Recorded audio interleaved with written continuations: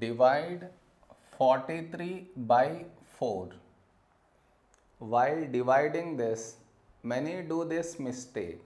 And what is that mistake? I will tell C. But before that, first we should frame it in this way. C. That is 43 4. Okay, next. Here we have 4. Here also we have 4. When do we get 4 in 4 table? 4 ones 4. Now we subtract, so we get 0. Now we take this number down, that is 3. This is where the mistake happens, and the mistake is this one. Here we have the number 3. 3 is smaller than 4. So what many do is they put a dot here and take 0 here which is wrong.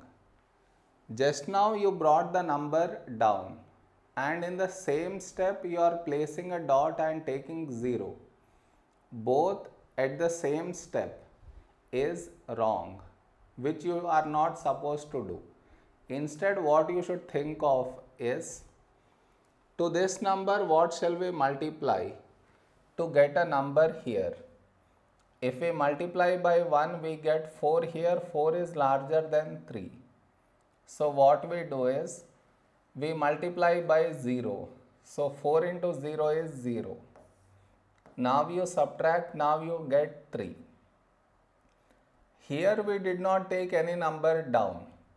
Now 3 is smaller than 4 so now you put a dot and take 0. Now here we have 30, a number close to 30 in 4 table is 4 sevens 28. Now you subtract you get 2 0 when do we get 20 in 4 table 4 5s 20. Now you subtract you get 0. This is our quotient. Did you understand where mistake happens? You should not do that mistake. Am I clear?